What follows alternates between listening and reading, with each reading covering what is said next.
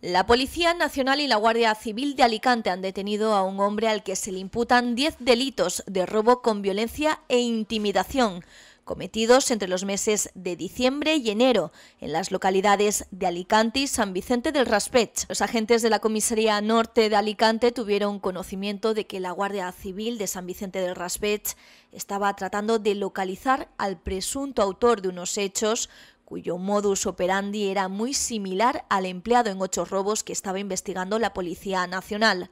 Los investigadores comprobaron que era la misma persona que estaba siendo buscada por otros nueve delitos cometidos.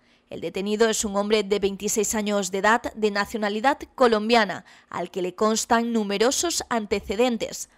Tras ser puesto a disposición del juzgado de instrucción número 1 de San Vicente del Raspech, se ha decretado su ingreso en prisión provisional.